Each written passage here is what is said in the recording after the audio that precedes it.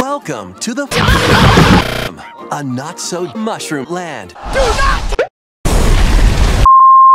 With just a Miss Wonder stop Bowser. Oh man! That's it, I'm done. Mario, thanks to his newfound power, chaos spread across the land. Ah! Now, it's up to the Flower Kingdom. Stop Mario in this presentation. You must die! Plus, the Flower Kingdom died in this present. Now you are dead! The Koopas had other plans. Now, Mushroom Kingdom died.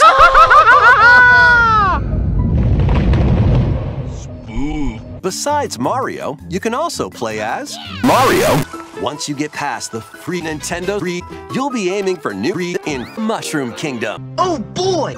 Many trials await amidst the pits and careful though, they'll still lose a life if they fall down a pit. So go with your favorite or go dive in Nintendo Kingdom. You can purchase standee surprises from the Bowser Kingdom. Do you Purchase or yield?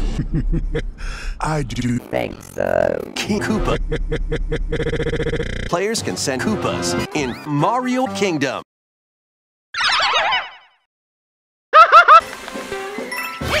Reaching the goal pole isn't the only way to stop Koopas.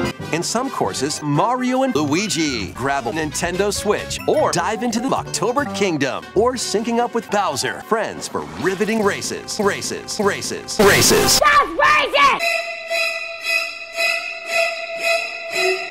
Super Mario Brothers want to stop the Flower Kingdom launches on the Bowser Kingdom or Nintendo's Wii U! So, what do you think?